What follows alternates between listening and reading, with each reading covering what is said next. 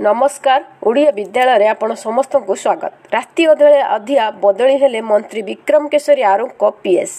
ତାଙ୍କୁ କୋରାପୁଟ ଡିଭିଜନକୁ କରାଯାଇଛି ବଦଳି। ବର୍ତ୍ତମାନ ଜଙ୍ଗଲ ବିଭାଗର ଅନେକ କର୍ମଚାରୀ ଭିଜିଲାନ୍ସ ଟାର୍ଗେଟରେ ଥିଲାବେଳେ ଏବେ ହଠାତ୍ ରାତି ଅଧରେ ପିଏସ୍ଙ୍କ ବଦଳି ସମସ୍ତଙ୍କ ମନରେ ସନ୍ଦେହ ସୃଷ୍ଟି କରୁଛି। କୌଣସି କେଳଙ୍କାରୀ ସମ୍ପୃକ୍ତ ନାହାନ୍ତି ତ ପିଏସ୍ ସୂଚନା ଅନୁସାରେ ଜଙ୍ଗଲ ଓ ପରିବେଶ ମନ୍ତ୍ରୀ ବିକ୍ରମ କେଶରୀ ଆରୋଗ୍ୟ ବ୍ୟକ୍ତିଗତ ସଚିବ ଦୀପ୍ତି ରଞ୍ଜନ ବେହେରାଙ୍କୁ ରାତି ଅଧିଆ କୋରାପୁଟ ଡିଭିଜନକୁ ବଦଳି କରାଯାଇଛି।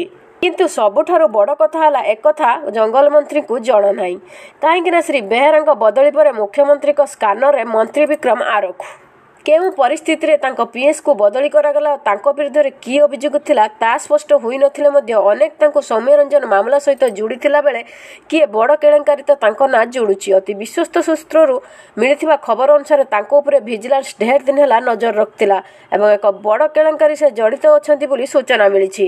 ଜଙ୍ଗଲ ଓ ପରିବେଶ ବିଭାଗର ଯେକୌଣସି ବଦଳି ଦୀପ୍ତିଙ୍କର ଜୋରଦାର ଦବାଦବା ଥିଲା। ସେହି ଅଫିସର ମନ୍ତ୍ରୀଙ୍କୁ ଦେଖା କରିବେ କାହାର ବଦଳି ହେବ କାହାର ବଦଳି ବାତିଲ ଏସବୁ କାମରେ ମାତିଥିଲେ ଦୀପ୍ତି। ଏବେ ପିଏସ୍ଙ୍କର ପଦବୀ ଯିବା ପରେ ମନ୍ତ୍ରୀ ଶ୍ରୀ ଆରୁଖ ବିପଦକୁ ଆସିଯାଇଛନ୍ତି। ପୂର୍ବରୁ ଆର୍ଏନ୍ଏସ୍ ଆର୍ଏନ୍ଏର କୁହାଯାଇଥିଲା ଯେ ମନ୍ତ୍ରୀ ବିକ୍ରମ ଆରୁଖଙ୍କ ସମ୍ପର୍କରେ ମୁଖ୍ୟମନ୍ତ୍ରୀଙ୍କ ଧାରଣା ଆଦୌ ଠିକ୍ ନାହିଁ। ବିକ୍ରମ କେଶରୀ ଆରୁଙ୍କ ପଦବୀ ଆଦୌ ବିପଦମୁକ୍ତ ନୁହେଁ। ତାଙ୍କ ବିରୁଦ୍ଧରେ ସରକାର ଆଗରୁ ବଡ଼ କାର୍ଯ୍ୟାନୁଷ୍ଠାନ ଯେ ନ ନେବେ ତାହାକୁ ଏଡ଼ାଇ ଦେଇ ହେବ ନାହିଁ। କାରଣ ଏପରିକି ତାଙ୍କ ମନ୍ତ୍ରୀପଦ ଯାଇପାରେ ବା ମୁଖ୍ୟମନ୍ତ୍ରୀ ତାଙ୍କୁ ପ୍ରଦୀପ ପାଣିଗ୍ରାହୀଙ୍କ ପରି ବହିଷ୍କାର କରିପାରନ୍ତି ବୋଲି ଚର୍ଚ୍ଚା ଆରମ୍ଭ ହେଲାଣି।